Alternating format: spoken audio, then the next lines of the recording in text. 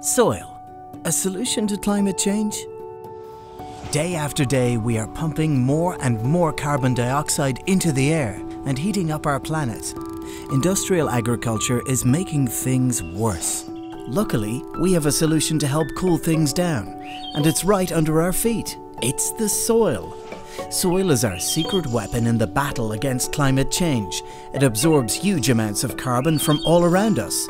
In fact, it already stores three times as much as the atmosphere and five times as much as forests.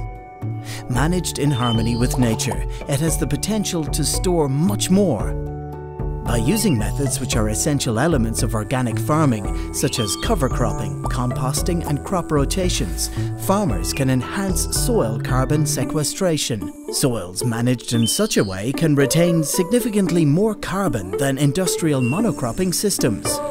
There are a lot of ways to increase soil organic carbon levels. Longer grazing periods and pasture management, hedges at field boundaries, agroforestry and restoring land in poor conditions. Besides cutting down on greenhouse gas emissions, using management practices that increase the quantity of carbon stored in the soils, we can slow down or even stop global warming. What's more, by not using harmful synthetic fertilizers and pesticides, organic agriculture keeps you and our planet healthy. Healthy soils equals healthy food, healthy people, and a healthy planet.